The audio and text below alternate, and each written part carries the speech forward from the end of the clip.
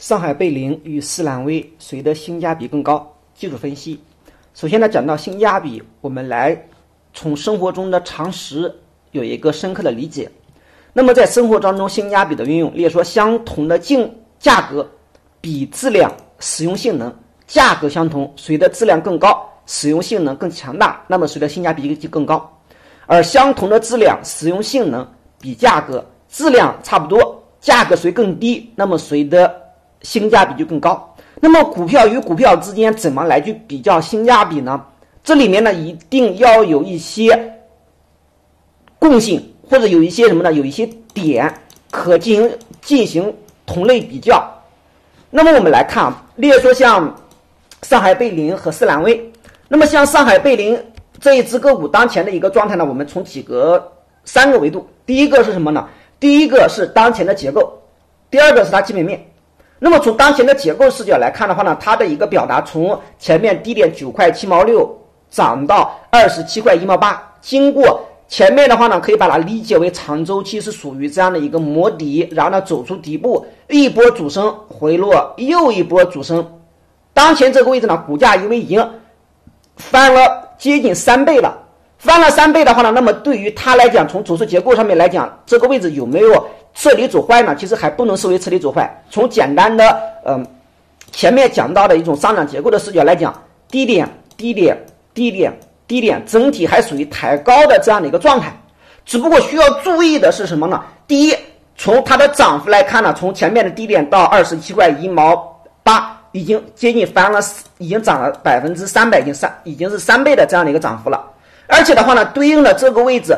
再往上要高度防范的是什么呢？高度防范的是，如果说 MACD 在上演这样的一个顶背离的一种状态，那么对于它来讲，你要是从嗯空间从中线视角的维度观察的话呢，它的性价比是越来越低。就那股价越往上，那么它的性价比实际上是越低的。但是呢，我们再从不同的维度来去观测啊。不同的维度指的是什么呢？如果说从当下它的股性来去看待的话呢，它的换手率哎在百分之二十，也就是说呢，这一只股近期的一个股价的涨跌更多的是属于短期资金，而且短期资金有没有散场呢？以前面获利的资金呢，早就已经什么呢？早就已经离场了几波又几波的。当前的话呢，只不过市市场对它的关注度还在。关注度还在的话呢，那么这一只个股近期对于呃市场或者对于半导体板块的这样的一个敏感度还是比较高的，也就是说股性依然是属于比较强的状态。强的状态的话呢，那么即便是从中长从它的一个呃上涨空间相比较来讲，从中长它的性价比越往上，那么呢它的价格越往上，那么性价比越低，有的风险是涨上去的。这一点的话呢，一定是至理名言。但是呢，它是要看它的结构，好，这是一点。那么再看它的基本面。基本面的话呢，对应的它在二零二三年的业绩呢是属于持续的，二零二三年的业绩是亏损的，二零二四年的一季度以及呢二零二四年的半年度它是扭亏的。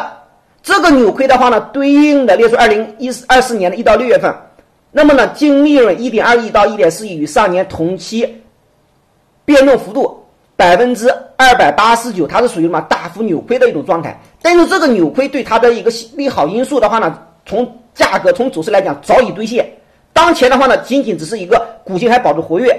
好，这是对于上海贝林。也就说呢，你要是从短期的波动率和股性来看的话呢，那么它当前的股性可以对于呃板块的敏感度要强于斯兰威的。但是呢，你要从它的一个位置，从它的一个涨幅来去看待的话呢，那么它再往上，那么对应的，例如说这个位置向上，要么是二十七块一毛八，呃过不去，必然找卖点。对了，如果过去了，你要观察它的。MACD 是不是属于这样的一个顶背离的状态？如果说是过得去，也是以找卖点为主，而不能冒冒进了。但是你要从短线的一个视角来讲，来说对应的，哎，出发移动，那么呢，某一个低点作为一个防守位，哎，见利即出，见不好即跑，那么它的股性当前还在。好，那么我们再看四兰威，四兰威的话呢，那么这一只股它的状态是什么呢？它从历史的高点七十四块五毛八，一路下跌跌到十五块七毛四。咱们前面讲到过，你要是用跟大周期来讲，它是一个单边下跌结构，高点不断的下跌，低点不断的新低。那么当前的一个状态是什么呢？它的股性属于刚刚转弧。这个刚刚转弧的话呢，指的是前面从七月十九号这一天出现首板之后，那么呢一个冲高回落，这个回落的话呢，那么连续一周它的表现呢是偏弱的，表现偏弱的话呢，但是它的换手率当前的话呢是在百分之三，前面的话呢这一段也不过百分之三到百分之六、百分之七这样的一个状态。只不过对于它来讲的话呢，我们来看三个阶段，哪三个阶段？前面单边下跌的时候，前面单边下跌它的量呢是无量无价，那么换手率一度达到什么呢？达到百分之呃零点五。好，而后的话呢，一波冲高一百四十天均线压制，而后的话呢再震荡下行。但是这里面的话呢，它的量堆就是它整体的量能层级来讲，这是一个层级。这个位置的话呢，和前面相比依然是属于低量能的状态，但是和它相比呢是高了一个层次了。这个位置呢，哎，股价没有上升，但是它的量能层级来讲，和前面它又高了一个层级。那么当前的话呢，只是日线一笔上，日线一笔下，这一笔下呢回落到了前面这一笔的半分位附近。半分位附近的话呢，那么整体它的量能层级来讲的话呢，是逐级的在进行提升，也就说呢，它的股性在逐级的进行转活，这是一点。第二点是什么呢？第二一点，从位置的一个视角来去看待的话呢，那么它从长周期的把它可以呢，长周期的底部平台刚刚越过，走出底部平台之后的这样的一个回落来这样去看。好，那么我们再要看基本面，基本面的话呢，它在二零嗯。二三年业绩呢是属于这样的一个，也是属于这样的一个明显的亏损。只不过呢，在二零二四年的一季度，包括呢二零二四年的呃半年度，它的业绩呢并没有扭亏，只是呢大幅的减亏。也就说呢，从基本面的一个表达来讲的话呢，那么像上海贝林，那么从二零二三年到二零二四年的表达来讲，它是要哎好过斯兰威的。好，那么从但是呢，这个好过斯兰威，它的股价已经呢。有充分的兑现，这是一点。那么呢，在里面呢要有一个推演，因为呢从啊基本面的视角来讲，很多时候是需要有充分的调研，有详实的数据，你才能够做出分析的。而修禅呢，作为个人交易者来讲，其实也没有实实质性的调研，只是也是通过一些呃网上的呃官或者是官方的一些数据来进行分析而已。那么这里面的话呢，例如说近期。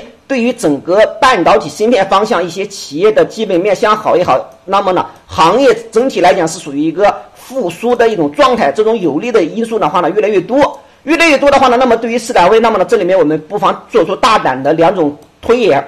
一种推演是什么呢？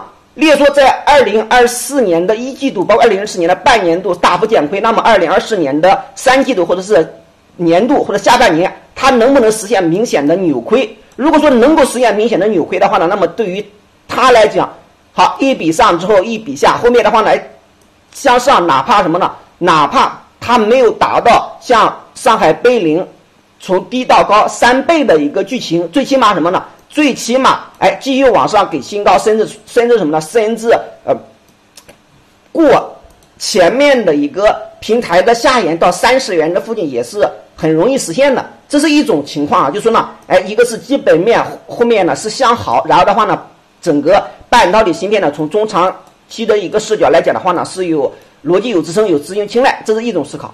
另外一种思考的话呢，好，下半年它的基本面并没有得到很好的改善，又是连续亏损。去年二零一三年啊，二零二三年的话呢，哎，持续亏损；二零二四年呢又持续亏损，那么增加的是它的它的一个什么？它的一个。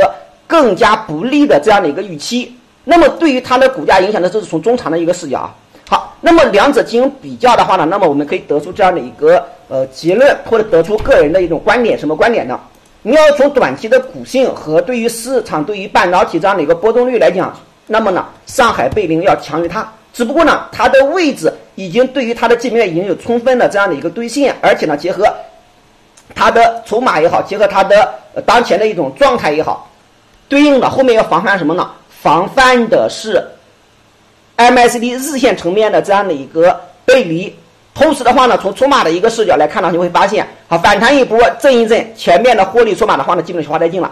好反弹一波震一下，下方的获利筹码消化殆尽了。那么对于它来讲，近期属于什么？日前就属于短线资金在进行把握。一旦见势不好，那么呢，一旦资金离场，那么呢，像这种类型的个股调也会比较的深刻。好。只不过当前这个状态是它的它的人气，它的关注度还在，所以说呢，对他来讲，像上海贝林一，你要是从趋势从从它的一个嗯空间，我认为呢它的性价比是越来越低，只是短期只要短线的一个视角见好就收。那么只要说呢它的波动率还在，那么呢是可以去呃留意。换句话说，后面如果半导体异动，那么这两只个股谁更容易嗯率先有明率先有反应，而且反应的幅度更加的明显？那么呢，可能上海贝林这是它近期的特征表现的。真的，你要是从中长的一个视角来讲来讲的话呢，个人啊更看好像嗯斯兰威的这种这样的一个呃中长的这样的一个视角。